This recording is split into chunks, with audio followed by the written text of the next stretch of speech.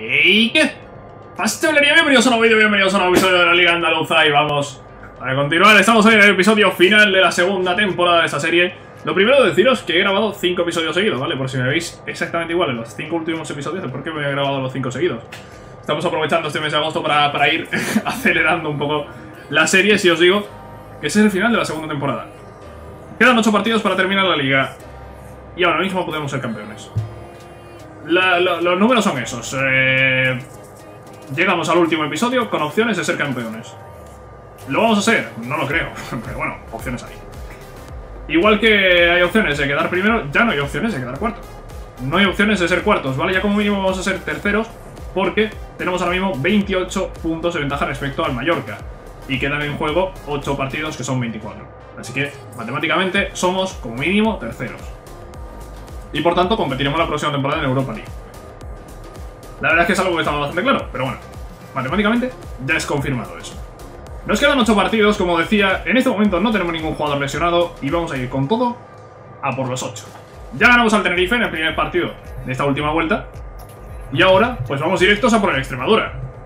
Y con el, contra la Extremadura no íbamos a fallar y ojo, porque parece que la final de Copa y ese doblete han reactivado a Carlos Fernández, que por fin marca gol, que desde la lesión no había marcado. Un gol de Bacaev, otro de Guamanquituca y un doblete de Carlos Fernández. Muy bien. 1-4 ganamos a la Extremadura para empezar hoy. Bien. Sin más, ¿no? Íbamos a ganar, sí, estaba claro. Pero, pero, bueno, hemos ganado con 4 goles y con un doblete de Carlos Fernández, que es un jugador al que vamos a necesitar en este final de temporada, porque no podemos depender solo de Guamanquituca y está muy bien, es una máquina, pero que necesitamos repartir un poco la responsabilidad de, de goleadora del equipo. Liska sube a 79 de media en este momento, mejor central de la plantilla junto a Pepe, teniendo en cuenta que Pepe tiene 38 años. Es mejor Pepe. es que Pepe, Pepe es. Eh, Pepe es brutal. Pepe es brutal. Fernández se convierte en un fijo del Granada. Sí, si no se hubiese lesionado habría jugado toda la temporada. Pero se lesionó. Se lesionó de gravedad y ojo, porque ahora viene el momento clave. Este es un momento clave en el episodio. Porque de ganar este partido, nos pondríamos segundos. Y porque de perder este partido, nos podríamos olvidar de ganar la liga. El empate... El empate nos dejaría con opciones de ser, segundos, pero prácticamente sin opciones de ganar la liga. No, solo nos vale ganar. Si queremos tener opciones de ganar esta liga, solo nos vale ganar. ¿Os imagináis ganar? ¿Os imagináis por un momento que ganamos a Betis y Sevilla y somos campeones? Se acaba aquí la serie, ¿eh? no, no. Se acaba aquí la serie. Ni Guamanguituca ni hostias. Si ganamos la liga, se acaba la serie. no vamos a ganar la liga. Vamos a hacer el contragafe, ¿vale? No vamos a ganar al Betis, no vamos a ganar al Sevilla, no vamos a ganar la liga. Jugamos en el flamante de los Cármenes contra el Betis. Y vamos a perder. Vamos a perder. ¡Vamos a perder! ¡Ganamos 2 a 0! Emerson y Urti, el contragafe. El contragafe hace efecto. Ganamos al Betis otra vez. Otra vez, tío. No, no, no. Estaba yo con la coña de que quitarle a Guido Rodríguez iba a ser clave para el Betis. No, no. Pues si tanto que ha sido clave. Que les hemos ganado al Betis los dos últimos partidos. No, no. Pues espérate. Que igual sí va a ser clave. ¿eh? Espérate, igual sí va a ser clave. Acabamos... Joder, qué contragafe hemos hecho, ¿no? brutal, eh, brutal el contragafe, tío. Si llego a saber que tengo este poder, lo habría utilizado antes. Eh, a ver, a ver, a ver, a ver, a ver, a ver, a ver. Vamos a hacer el entrenamiento, vamos a relajarnos un momento. Porque acabamos de ganar al Betis en el Salón de los Cármenes. Y, y ahora mismo somos segundos. Ahora mismo somos segundos. A falta de 6 partidos, somos segundos. Cierto es que nos tenemos que enfrentar a Sevilla. Tan cierto como que también se tiene que enfrentar el Betis. ¿Vale? ¡Ojo! ¡Ojo! ¡Ojo! ¡Ojo! ¡Ojo! Porque está la cosa... Está la cosa... Está la cosa... Está la cosa... Muy interesante. Lo firmo a todos, lo firmo a todos para meterlos en el filial. Ya, veremos, ya iremos viendo qué hacemos con ellos. De momento hacemos eso. Eh, de momento también hacemos un entrenamiento. ¿Qué pasa? ¿Hay jugadores ¿Hay un parón de selecciones o qué? Sí, hay un parón de selecciones. Me han quitado Liska y Ongené, Popov está entrenando. Eh, pues aquí me entreno. ¿A quién podemos entrenar? Podemos entrenar a, a Caicedo, a Urzi, no sé. O Alenco no, no. Alenco no, no me convence mucho. Voy a entrenar a, a Urzi. A Urzi. Porque conociendo este juego, pues igual le apetece lesionarme a Wamangituka. Conociendo este juego, igual le apetece lesionarme a uno de mis jugadores clave, como es Wamangituka. Eh, y como conozco el juego, pues, pues eso. Voy a entrenar también a Haiki, como se pronuncia, es que no sé cómo se pronuncia todavía el nombre de este jugador. Pero lo voy a entrenar porque es, creo, la posición en la que más diferencia hay entre el titular y el suplente. Eh, así que sería interesante subirlo. Vale. Me gustaría mirar el calendario, ahora en cuanto paremos. Vamos a echar un vistazo al calendario. Manager del mes. Pues no me extraña que me des el manager del mes después de esa victoria contra el Betis. Claro que sí. En este momento somos segundos. Pero quedan seis partidos. De los seis partidos, confío en que vamos a ganar cinco. No, no, no sé qué, cinco son. Eh, Cádiz, Las Palmas, Almería, Mallorca y en la última jornada es el Málaga. Esos son los cinco. Confío en ganar los cinco. Vale, el Sevilla Betis lo acabo de encontrar aquí, el día 23 de abril. Vale, 23 de abril, nosotros jugaremos el 24 contra el Mallorca. Vale, eh, posibilidades de que el Sevilla se deje 6 puntos que se tiene que dejar para que yo los alcance. Que pierda contra el Betis ese día 23 y que pierda contra nosotros en el enfrentamiento directo que nos queda. Es, es la, la- la opción que hay de que nosotros acabemos eh, ganando la liga eh, son esas. Porque no veo al Sevilla dejando ese punto contra otro equipo. que no sea el Betis. ¿Cuál es la otra posibilidad? La otra posibilidad es que el Sevilla gane al Betis y que aun perdiendo yo contra el Sevilla en el enfrentamiento directo que tengamos, yo acabe segundo. Que también sería una, una opción muy interesante. Vale, entonces, gane el Sevilla o gane el Betis, creo que va a ser positivo. Creo que va a ser positivo gane el Sevilla o gane el Betis. Ahora mismo no dependemos de nosotros. Lo mejor, si queremos aspirar a ganar la liga, tiene que ganar el Betis sí o sí. ¿Que no gana el Betis y gana el Sevilla? Pues nos va a servir para intentar asegurar la segunda posición. Bueno, de momento nosotros ganemos al Cádiz eh, con gol de Verbanega o gol de Carlos Fernández. 0-2, bien, tranquilos. Y seguimos igual con las mismas distancias porque han ganado tanto Sevilla como Betis. Pepe cae 8 semanas, uy, qué feo. Feo, qué feo, qué feo, feísimo eso. Feísimo, tío, feísimo. Pues Onguené... Voy a poner a Onguené. Voy a poner a Onguené como titular. Eh, ¿quién, ha puesto el juego como capitán? Manega. Carlos Fernández es de cristal, no lo sabía. Acabo de entrar de esto. Venga, el juego a Vanega. Venga, te compro, te lo compro, Vanega de capitán. Sí. Vale, Pepe se va a perder lo que queda de temporada y seguramente ya es eh, la, la lesión que hace ya que Pepe caiga. Ya no, no va a volver a ser titular en el equipo. Y de hecho yo no sé si va a volver a jugar con el equipo porque mi idea es venderlo. Bien, el entrenamiento, aquí teníamos antes a... Teníamos antes a los centrales y voy a ponerlos. Al menos a uno de ellos voy a poner a... No, a uno no, voy a poner a los dos. Voy a poner a Liska y a Ongené. Y Popov, eh, bueno, Popov, eh, espérate. Espérate, va- va- vamos a dejar a Haiki, o como se pronuncia ese, nuestro lateral izquierdo, lo voy a dejar entrenando. Porque tiene muy poca media y no me apetece una lesión del lateral izquierdo y, y tener que poner a un jugador de 69 de media, que por lo menos tenga 70, tío. Bien, eso por, por aquí. Seguimos. Seguimos, seguimos. Quedan 5 partidos, 5 finales por la liga. Y de momento eh, el encuentro clave no llega. ¿Vale? El encuentro, clave todavía, todavía queda para, llegar a él. De momento hay partido contra Las Palmas, ganado Las Palmas, eh, vamos a por ello. Vale, 3 a 0, ganamos el partido. Marca Lisca, marca Maicon, marca Silao Mituca del penalti. Estaba como Pichichi, eh, antes he visto que Fekir lo había alcanzado, no sé cómo estará ahora. Ronnie López 21, Fekir 20, Wamangituka 21 también. Bueno. Pues ahí vamos. Pues ahí... Ahí va la cosa, ¿eh? Un representante de, cada equipo en la lucha por el Pichichi. He, leído... A ver, a ver, a ver. He leído insatisfecho.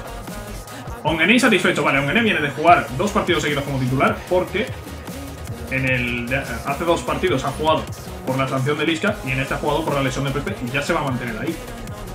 Así que Ongené, no sé qué me estás contando. Ongené, crack, no sé qué me estás contando. Vale, el Betis gana su partido y todo sigue igual. Yo a 6, el Betis a 7, el Betis a un punto mío. Todo sigue Thank you igual. everyone for coming. Thank you. Can we take your seats? And Mis hombres estuvieron fantásticos, claro que sí. ¿Esperáis acercaros al primer puesto? No empecemos con esa pregunta porque... El objetivo ahora mismo es acabar segundo. El objetivo ahora mismo es acabar segundo. Y el objetivo solo va a cambiar en caso de que el Betis gane el Sevilla. Si el Betis no gana el Sevilla, el objetivo será acabar segundo. Almería-Granada. Vamos a por el partido en el Estadio de los Juegos del Mediterráneo. 0-4 con póker de Carlos Fernández. Carlos Fernández necesitaba un gol. Necesitaba marcar. En cuanto ha marcado el primero, que fue la final de Copa, en el episodio anterior, se ha activado. Carlos Fernández se ha activado, ha aparecido, ha empezado a marcar. Ahora mete cuatro, goles a la, a Almería de Carlos Fernández. Póker de Carlos Fernández, pero bueno. ¿Esto qué es, tío? ¿Qué ha pasado, Carlos? ¿Qué ha pasado, Carlos? Carlos, que estaba desaparecido y de repente aparece y aparece por la puerta grande. Aparece por la puerta grande, madre mía, cómo está Carlos. Dos semanas fuera Guido Rodríguez. Bueno. Bueno, a ver. Ojo, eh. No, no, Barinov, Barinov. No, no, Barinov, no te enfades. Barinov, no te enfades porque pasas a ser, titular aquí. Barinov, no te enfades que vas a ser titular. Bueno, pues baja. Baja de Guido Rodríguez, que bueno, eh, ha, afectado, ha afectado claramente más al Betis de lo que creo que me puede afectar a mí perder dos partidos a este jugador. Bueno, perder dos partidos o perder ya para lo que queda de temporada, porque quedan tres partidos tampoco. Tampoco es mucho más. Todo sigue igual, una jornada más. Y la siguiente es la jornada clave. La siguiente es la jornada en la que se deciden cosas. Es la jornada en la que Sevilla y Betis se enfrentan entre ellos en el Pizjuán. Eh, lo vamos a ver ya el resultado. El Sevilla gana. El Sevilla gana. Y el Sevilla es campeón. El Sevilla es campeón porque tiene 9 puntos de ventaja. A mí me quedan 9 puntos en juego. Eh, pero no, es que no puede ser. No puede ser porque, aunque uno de esos dos partidos sea contra mí y ganándole yo al Sevilla, pues oye, le recortaría 3 puntos. Quedaría otra jornada más donde el Sevilla se va a enfrentar al Cádiz. Y. No veo al Cádiz ganando. No veo al Cádiz ganando, vale. Ya está. Oye, hemos llegado. Bueno, bueno, a ver, a ver. Matemáticamente todavía podemos ser campeones, ¿eh? Si ganamos este partido, vamos a llegar a la penúltima jornada. Se dice pronto, ¿eh? Vamos a llegar a la penúltima jornada con opciones de ser campeones. No está mal. No está mal.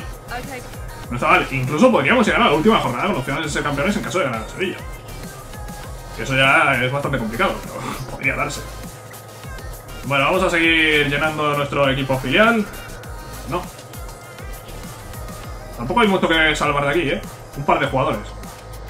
A ver, ¿hay algo por aquí que no me sirva? Sí. sí, a ti te voy a subir al primer equipo, pero, pero te subo para venderte. A ti también. A ti también.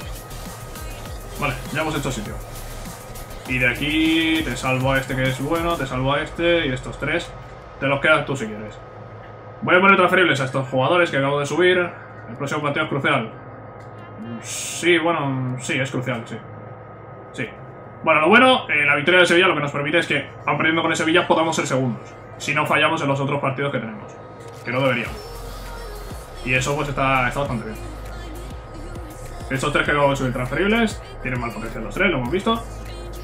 Y ahora toca el Mallorca. Toca el Mallorca, un Mallorca que, bueno, dejó de ser rival hace tiempo, le sacó casi 40 puntos. Eh... ¿Qué, más, ¿Qué más queréis que os diga? Creo que no hace falta decir nada más del Mallorca. Juega Bañoman en el lateral derecho. No me gusta a mí esto, no, me gusta mucho eso. Pero vale, ganamos el partido 3 a 1. Carlos Fernández que sigue apareciendo Parinov, que también lo hace. Va a caer que se lesiona. Y con esta victoria llegamos a la penúltima jornada de liga con opciones de ser campeones. Y con 4 puntos de ventaja respecto al Betis, lo que nos permite una derrota. Hombre, de ganar ahora el Sevilla, quedaríamos muy cerca ¿eh? de ser campeones. de ganar ahora el Sevilla, quedaríamos muy, muy cerca de ser campeones. Pero no lo vamos a conseguir. No lo vamos a conseguir. Eh, necesitábamos que el Betis ganase. El Betis ha perdido. Y bueno, pues el objetivo pasa de intentar ser campeones a ser segundo. Que no es un mal objetivo, ni mucho menos. No esperaba acabar segundos esta temporada. De hecho, vamos a acabar segundos. Tío, es que vamos a acabar segundos por Guido Rodríguez, de verdad. Es que hemos pasado de no ganar en seis partidos al Betis, sumando los cuatro de la anterior temporada y los dos primeros de esta, a, después del fichaje de Guido Rodríguez, ganarle los dos que hemos tenido. Es que ha sido un cambio brutal, tío. Ha sido un cambio brutal. Y bueno, pues... No sé hasta qué punto ha, in- ha influido ese, fichaje, pero... Los datos ahí están. Los datos ahí están, ¿eh? Ha sido fichar a Guido Rodríguez y el Betis se ha caído. Contra nosotros, al menos. También contra el Sevilla, ¿eh? Porque el Betis ha ganado partidos al, al Sevilla. Iván Fauria, el Derry City, 105. Tío, tiene 120 de valor. Págame, dice ahí el juego 135. Pues 135, tío. Págame 135 y te lo vendo. ¿Y aquí qué pasa? Estoy completamente recuperado. Eh, mi lesión de golpe en la pierna y espero que vuelva a ponerme en el equipo para el partido de hoy. Le debemos mucho a Guido Rodríguez, ¿eh? Le, le debemos mucho a Guido Rodríguez. ¿Debería ponerlo? ¿Ganaréis esta vez? No lo sé, venimos a empatar dos veces seguidas contra el Sevilla, ¿eh? 2 a 1. ¿Crees que la moral del rival puede estar flaqueando? No, a ver, venimos en buena racha, pero es el Sevilla, está a nada de ser campeón. Está a un punto de ser campeón, empatando el partido es campeón. El Sevilla empatándonos el partido es campeón de. Vale, pues... Solo me queda ver la duda de Guido Rodríguez. Guido, Guido, no puede ser, no puede ser. Guido, te voy a poner en el banquillo. Si el segundo entrenador te quiere sacar, que te saque, pero Guido no, no, no está para jugar, tío, no. Guido, nos has dado mucho. eh, entiendo que es un partido muy importante, que quieres jugar, que nos estamos jugando la liga, pero, pero no puede ser. no puede ser, tío, es que no puede ser, Guido, no puede ser. Vamos a enfrentarnos a Sevilla en casa, en el flamante Los Cármenes, apurando nuestras últimas opciones de ser campeones a dos jornadas del final. Matemáticamente podemos ser campeones de liga. Granada de Sevilla, en el flamante Los Cármenes. Después de empatar dos veces contra Sevilla, y hasta aquí, llegó el sueño. Hasta aquí llegó el sueño. A ver, aún ganando el partido, no habríamos sido campeones porque Sevilla va a ganar al Cádiz seguro.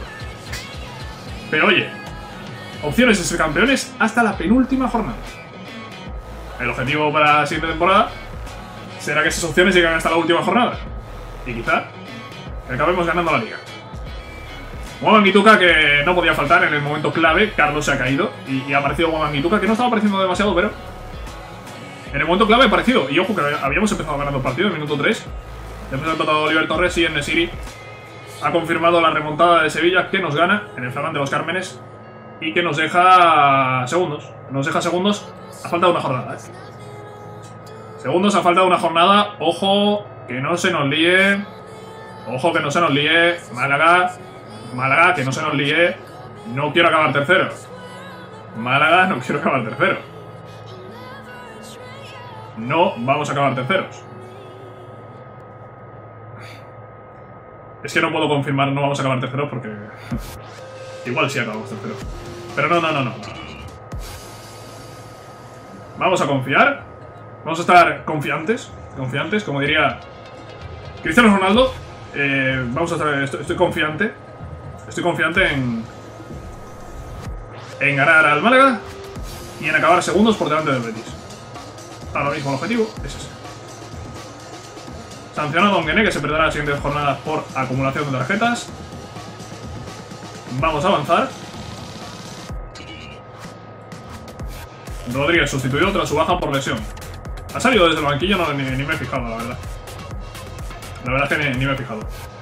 Dimitri Barinov quiere un traspaso. Bueno, la valoración de manager me está bajando por culpa de Barinov, eh. Barinov, te podrías estar quietecito. Podrías estar quietecito, la verdad. Marinov, de verdad, la temporada espectacular que estamos haciendo y ahora porque Marinov se quiere ir me lo vas a poner en rojo. Pues, pues no, tío, las cosas no son así, las cosas no. El Betis ha ha jugado antes que nosotros, no sé por qué. Si hay un juego, si está en un juego la segunda posición, no sé por qué. No se juega en horario unificado. Eh, no, lo sé. Pero vale, si ganamos al Málaga somos segundos. Las cuentas son muy fáciles. No nos vale empatar. Y por supuesto no nos vale perder. Guido... Guido, ya te vas a quedar fuera. Ya va a jugar Barinov, tío. Ya que juegue Barinov, eh, jugamos en la Rosaleda con Popov en el centro de la defensa, al final eh, con Popov y Liska, por la sanción de uno y la lesión de otro. Barinov en el medio centro defensivo. Málaga, Granada en la Rosaleda. No fallemos. No fallamos. Y somos segundos. Acabamos esta segunda temporada de la Liga Andaluza en segunda posición. Es un paso importantísimo el que acabamos de dar en esta temporada con dos partidos señalados que son las dos victorias frente al Betis. Dos victorias y dos derrotas frente al Betis, lo que deja un balance igualado. Y contra el Sevilla han sido dos derrotas y dos empates. La pasada temporada conseguimos ganar uno de los cuatro partidos al Sevilla.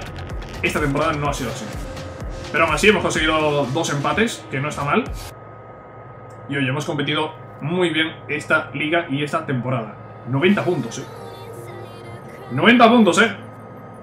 90 puntos acabamos sumando a 9 del campeón, que no ha llegado a 100. No sé si... La, pasada temporada no sé si llegó a 100 el Sevilla. 0-3 al Cádiz, era evidente que iba a ganar, ¿eh? era muy evidente que iba a ganar. Bueno, dicho, no sé si la pasada temporada se llegó a, a 100 puntos, pero esta temporada se ha quedado 99 un Sevilla que ha empatado 3 partidos y ha perdido 1. Dos de esos empates son contra nosotros. Una derrota contra el Betis seguro. Y el otro empate... Pues no sé si es el Betis o es otro equipo. Bueno, la liga acaba así con Extremadura en última posición, Cádiz, Las Palmas, Tenerife, Almería y Málaga cerrando la... Eh, no, Almería cerrando la, la parte baja. Bueno, esto se dividía en bloques, ¿no? Sí, más o menos se divide en bloques. Bueno, sí, sí.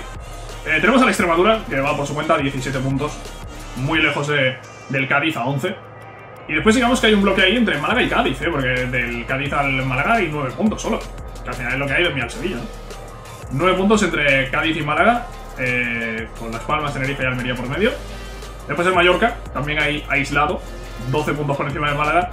Y a 40 del Betis. a 40 puntos. Es que... Es que mirad un momento la clasificación. Que hay 40 puntos de diferencia entre una posición y otra. 40 puntos. 40 puntos. ¡Wow! Es que no sé si alguna vez he visto yo una diferencia de puntos tan bestia entre dos posiciones. Yo no estoy diciendo del primero al último. Estoy diciendo del tercero al cuarto. 40 puntos entre uno y otro, es una locura. Es, una locura. Eh, bueno, Mallorca 49. Después, eh, y después los tres primeros, ¿no? Que nos hemos quedado en 10 puntos. Entre nosotros. Betis 89, nosotros 90, 99 el, Sevilla. 21 goles en contra en 36 partidos, 98 a favor, equipo más goleador de la liga. 77 la diferencia de goles. No tenemos la mejor diferencia de goles, que se la lleva el Sevilla con 82. Eso es lo que nos ha dejado la liga. En la Copa, en la Copa fuimos campeones. Y en Europa no voy a mirar porque no, no me interesa demasiado porque nosotros no estamos ahí. Podemos ver el tema goleadores eh, al final. Al final Fekir, tío. Al final Fekir, eh, es que la explosión final de Carlos Fernández le ha quitado goles a, a. Esa explosión final le ha quitado goles. Además, mirad, Fekir ha jugado los 36 partidos de liga. Guamangituca solo 31. 5 partidos eh, menos. Si hubiese jugado 5 partidos más, en esos 5 partidos, con que hubiese marcado 2 goles, ya mínimo habría empatado a, a Fekir. Una pena, eh, pero por promedio, por promedio el mejor ha sido Carlos Fernández, con 15 goles en 20 partidos. por promedio el mejor de lejos ha sido Carlos Fernández. Que si no se hubiese perdido toda la temporada, o gran parte de la temporada, media temporada, ha jugado 20 partidos de 16, se ha perdido media temporada. Si no se hubiese perdido esa media temporada, quizá habría estado más arriba y quizá habría sido Pichichi de, la liga. Bueno, eh, buenos números de todas formas. Eh, también Bakaev ha marcado 15 goles en liga, Cabral ha marcado 9, Cabral que estuvo mucho tiempo de, de delantero. Michael ha marcado 7 goles. En asistencias, los dos que más, Bakaev y Michael, jugadores nuestros. Vanega aparece por ahí con 7 goles, 7 eh, asistencias. Kovalenko 6, 5 para Kanga, 5 también para Duca, por supuesto. En portería sin batidas, el que más Backleach, con 23 en los 36 partidos jugados. 13 para Luis Silva. Y para portero suplente Maximenko, 5 en 6. Pues muy bien. Amarilla, 7 para Emerson. Eh, Liska con 5 por ahí. Eh, con 4. Vemos... No, nadie más. Y en rojas, 3 jugadores expulsados. Bañoman, Popov y Emerson. Dos de los expulsados suplentes. En fin. En la Copa, bueno, los números de la Copa por aquí, rápidamente. Y en Europa League, ¿cómo ha quedado al final mis goleadores? Recuerdo que no iba mal Guaman y Tuca, 7 goles en 10 partidos. Eh, está bien, tío, porque al final Pulisic es el que más lleva y ya ha marcado 11. Son 4 más solo. Habiendo jugado más partidos, claro. Bueno, pues ahí, ahí queda. En asistencia no sé si teníamos a alguien... no veo nada. En tarjetas a lo mejor. No, en rojas tampoco. No, pues no, no parece nada.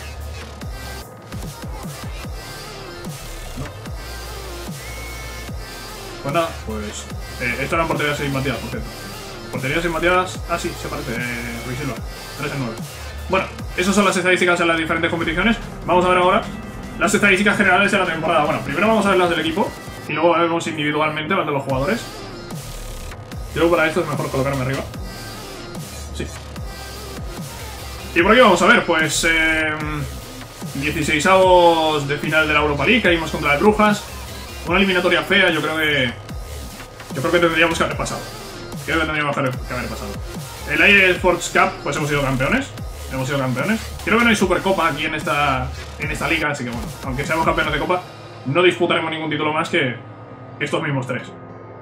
Y por último tenemos el... Em, la Liga, Liga donde hemos sido segundos. Gran temporada de Liga, siendo segundos por delante del Betis. En cuanto a números, 54 partidos, 39 victorias, 5 empates y 10 derrotas, 129 goles a favor y 38 en contra. Si comparamos con la temporada pasada, pues son 3 derrotas menos, son 2 empates menos y son 8 victorias más.